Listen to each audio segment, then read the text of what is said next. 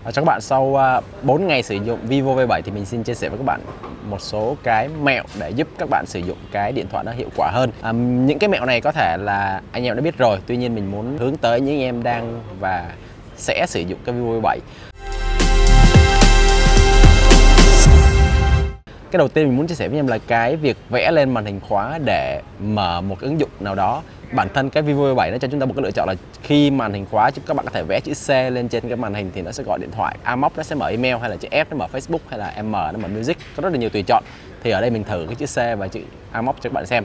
Cái điều thứ hai mình muốn chia sẻ với anh em là cái việc cài Gbo vào trong cái máy Vivo V7 để anh em có thể gõ bằng giọng nói thì vì bằng cách mà bấm lên bàn phím như kiểu truyền thống. Nguyên ơi tối nay anh bận không đến dự sinh nhật của em được.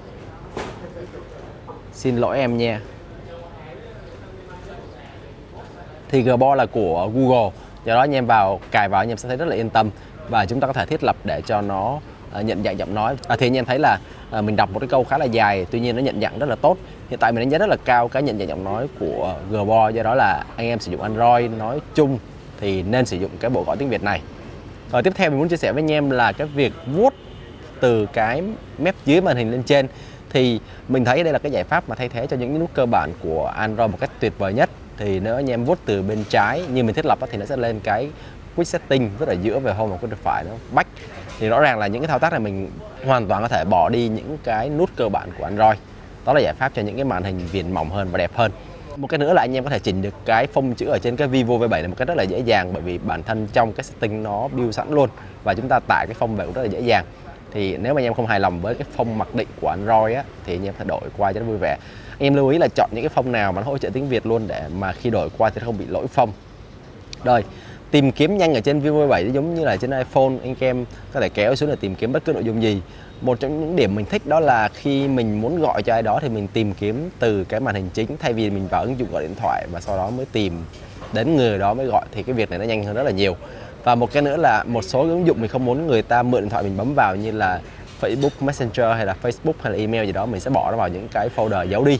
Và mỗi lần mình muốn mở thì mình chỉ cần gạt xuống từ màn hình chính sau đó mình bấm cái tên ứng dụng nó vào rất là nhanh để mình mở ứng dụng đó thì nó hay hơn. Về phần camera thì à, nó có cái hiệu ứng xóa phông rồi live photo và một cái mình muốn chia sẻ với anh em là cái chỉnh sáng tối khi chụp. Cái xóa phông nó sẽ giúp cái hiệu ứng nó uh, được giống như những cái máy camera hai camera khác dĩ nhiên nó không thể đẹp bằng.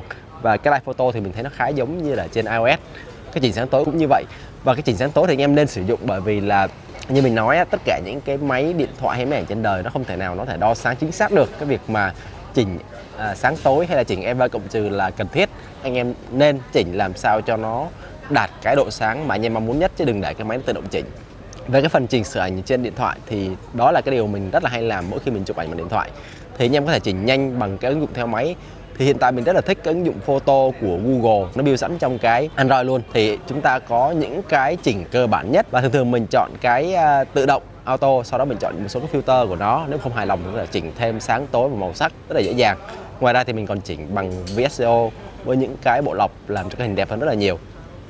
Rồi xin cảm ơn anh em. Chúc em vui vẻ.